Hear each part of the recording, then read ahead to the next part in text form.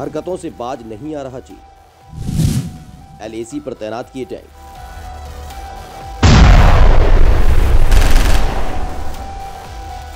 पूर्वी लद्दाख में भारत चीन के बीच पिछले साल 5 मई से सैन्य गतिरोध बना हुआ है। गतिरोध दूर करने के लिए दोनों देशों के बीच सैन्य और राजनयिक स्तर पर कई दौर की वार्ता हो चुकी है, लेकिन अब तक कोई ठोस समाधान नहीं निकला। इन सब के बीच चीन एक तरफ़ शराफत का नाटक करता है तो वही लगातार एलएसी पर उकसावे की नीति पर काम कर रहा है। पूर्वी लद्दाख में लाइन ऑफ़ एक्चुअल कंट्रोल पर तनाव को कम करने के बजाय चीन एक बार फिर भारत को उकसाने में लगा हुआ है। एक वीडियो सामने आया है, जिसमें दिखाया गया है कि पीपल्स लिबरेशन आर्मी यानी पीएलए जिसमें दिखाया गया है कि पीपल लिबरेशन आर्मी एलएसी के करीब सैन्य सामान लाने और निर्माण कार्य को जारी रखे हुए है।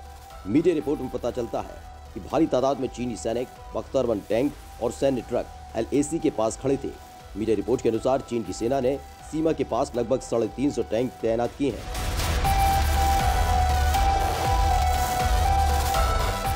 बीजिंग ने अपने सबसे परिष्कृत युद्ध टैंक टाइप 99 की एक बड़ी तादाद को भारतीय सीमा के करीब तैनात कर दिया है। पीएलए ने देपसांग क्षेत्र और दक्षिण किनारे समेत कई क्षेत्रों में अपने टैंक तैनात किए हैं। पिछले साल 5 मई के बाद से ही लगातार एलएसी पर भारत और चीन के बीच हालात तनावपूर्ण बने हुए हैं।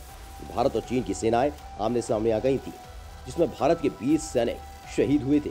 वहीं भारतीय योद्धाओं ने चीन के भी सैनिकों को मार गिराया था। वो बात अलग है कि चीन अपने सैनिकों की मौत पर चुप्पी साधे रखी है और बातचीत के ज़रिए ही समाधान की बात करता है। लेकिन दूसरी तरफ़, एलएसी पर माहौल तनावपूर्ण बना रहा है। भारत चीन के बीच हो चुकी कई दौर की बैठक भारत और चीनी सेनाओं को 5 मई से पूर्वी लद्दाख में विवाद के बाद से एक दूसरे के सामने डटी हुई हैं। गलवान घाटी में हिंसक झड़प के बाद तनाव कई गुना बढ़ गया है, जिसमें 20 भारतीय सेना के जवान शहीद हुए और इससे ज़्यादा चीन के सैनिक मारे गए।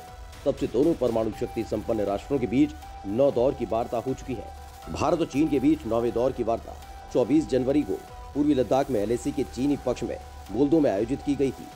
बैठक 16 घंटे तक चली और 25 जनवरी की दोपहर ढाई बजे खत्म हुई। सैन्य कमांडर स्तर की बैठक के बारे में एक संयुक्त बयान जारी किया गया, जिसमें कहा गया था कि सकारात्मक, व्यवहारिक और रचनात्मक है।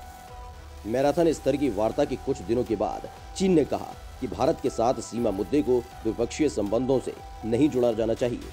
चीन के विदेश मंत्रालय के प्रवक्ता झाओ लिजिन ने चीन के विदेश मंत्रालय की वेबसाइट पर टिप्पणियों में कहा चीन भारत संबंधों के महत्व पर विदेश मंत्री जयशंकर का तनाव भारतीय पक्ष को चीन के साथ अपने संबंधों के महत्व को दर्शाता है। उन्होंने कहा, मुझे इस बात पर ज़ोर देने की ज़रूरत है कि सीमा मुद्दे को द्विपक्षीय संबंधों से नहीं जोड़ा जाएगा।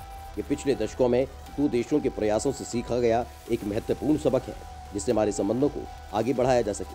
तेरहवें अखिल भारतीय सम्मेलन को संबोधित करते हुए एस जयशंकर ने कहा था कि नई दिल्ली और बीजिंग के बीच सौहार्दपूर्ण संबंध न केवल दो पड़ोसियों के लिए भी महत्वपूर्ण है, बल्कि दुनिया के लिए भी उतने ही महत्वपूर्ण है।